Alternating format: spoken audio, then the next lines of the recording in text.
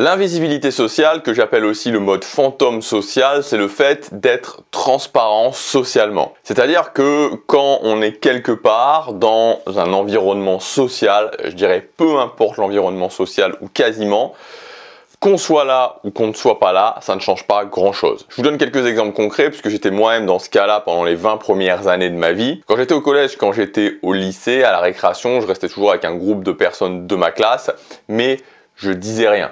Et donc voilà, j'étais transparent socialement, que je sois là ou je sois pas là, ça ne changeait rien. Pareil quand j'étais dans des soirées du cadre plutôt familial, voire amical, je ne disais rien du tout. Quand on me demandait quelque chose, quand quelqu'un essayait de me demander quelque chose ou de me donner la parole, je devenais rapidement tout rouge et j'essayais, en fait, j'essayais de rendre la parole le plus rapidement possible. Et de temps en temps, il y avait certaines personnes qui venaient me voir en me disant ça va, t'es sûr que ça va, t'es pas fatigué, t'es pas malade? Vous voyez l'idée. Et donc finalement, on pourrait dire que cette ce mode fantôme social, c'est un espèce de mélange entre une nature introvertie, euh, de la timidité, une certaine réserve sociale, un manque d'estime de soi et aussi un manque de compétences sociales, plus la peur d'être jugé. Alors un cocktail qui est différent pour chaque personne, mais qui mène finalement plus ou moins à un même résultat, ce mode fantôme social. Alors comment faire pour en sortir? Si évidemment vous voulez en sortir, si jamais vous le vivez bien, pourquoi pas Alors à ce moment-là, pas de problème, mais si vous le vivez mal et que vous voulez en sortir,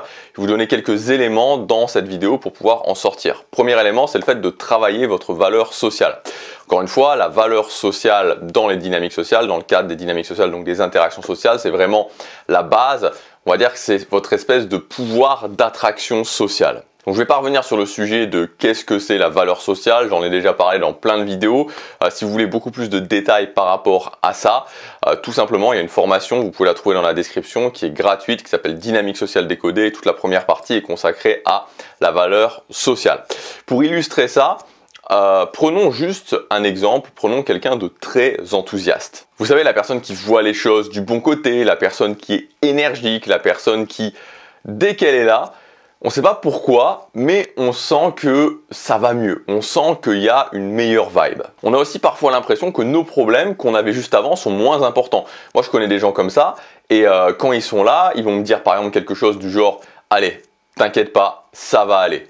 Et juste ça, juste par leur vibe, je me dis Bah ouais, en fait, ça va aller. Ça, voilà, ça va aller. Évidemment, ce type de personne que je viens de vous décrire, on a beaucoup plus envie d'avoir ce type de personne autour de nous plutôt que quelqu'un où quand on va avoir un problème, cette personne va nous dire quoi, t'as un problème, mais mince, c'est une catastrophe, comment tu vas faire, comment on va faire, on va pas s'en sortir et qui va commencer à spreader un petit peu, diffuser euh, de l'inquiétude. Dans les deux exemples que je vous ai donnés, une personne démontre de la haute valeur sociale, une autre personne démontre de la basse valeur sociale. Deuxième chose, c'est le fait de passer en mode actif social.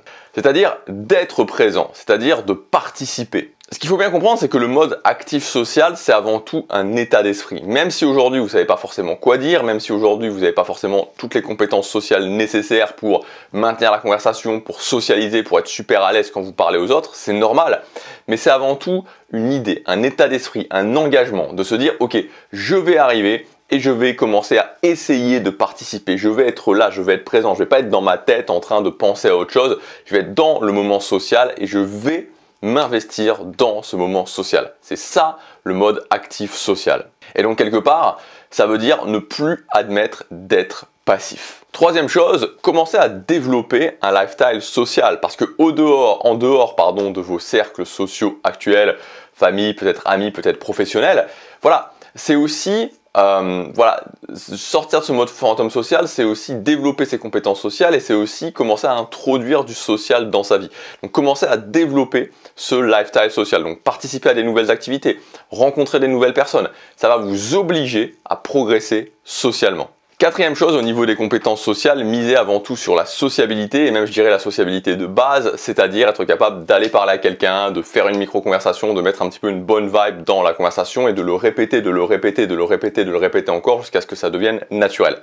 Cinquième chose aussi vraiment importante, c'est le fait de travailler votre vie, améliorer-la. Vraiment, et ça je vous le dis puisqu'on est dans une chaîne où la base de cette chaîne c'est l'amélioration de sa vie, moi ça a été énorme à quel point ça m'a aidé certainement parce que c'est quelque chose qui relève aussi la valeur sociale, ça m'a aidé de commencer vraiment à travailler ma vie, à avoir des objectifs de vie, à ne plus me laisser aller dans ma vie. Euh, ça a aussi transformé ma vie sociale parce que euh, voilà, quand on, sort quelque part du lot, je veux dire, on sort de la masse, on sort de la plupart des gens qui laissent aller leur vie, quand on commence à travailler sa vie, à voir des objectifs, à s'investir là-dessus, quelque part, voilà, c'est aussi quelque chose qui est attirant socialement pour les autres. Et enfin, dernière chose, ne vous jugez pas, ne soyez pas trop dur avec vous, vous allez essayer, vous allez faire des erreurs, il y a aussi des gens qui seront pas sympas avec vous. Vous savez, ce qu'il faut bien comprendre, c'est que le social, c'est euh, voilà, aussi euh, des circonstances, c'est euh, des êtres humains qu'on a en face de nous, et euh, voilà, il y a des choses où il y a des gens qui vont vous voir et qui vont directement pas vous aimer et vous savez pas pourquoi. Donc il faut aussi admettre cette partie-là. Il faut admettre qu'il y a pas mal de facteurs qui sont aléatoires et il faut pas trop se juger. C'est-à-dire que voilà, quand il y a quelqu'un qui vous aime pas, bah, il faut pas commencer forcément à se dire mais pourquoi, mais qu'est-ce que j'ai fait, etc. Voilà, il faut être voilà, se dire que voilà, tout le monde va pas nous aimer, il faut être cool avec soi-même en général, pas trop juger, essayer voilà, d'avoir des objectifs, de travailler sur ces objectifs, d'avancer. Euh, mais voilà, ne pas être trop dur avec soi-même. Voilà, j'espère que cette vidéo vous aura aidé. Si vous voulez aller plus loin, vous avez, comme je vous dis, la formation dynamique sociale gratuite décodée dans la description. Je vous laisse regarder ça. Je vous dis à demain pour la prochaine vidéo. Passez à l'action, chaque jour compte.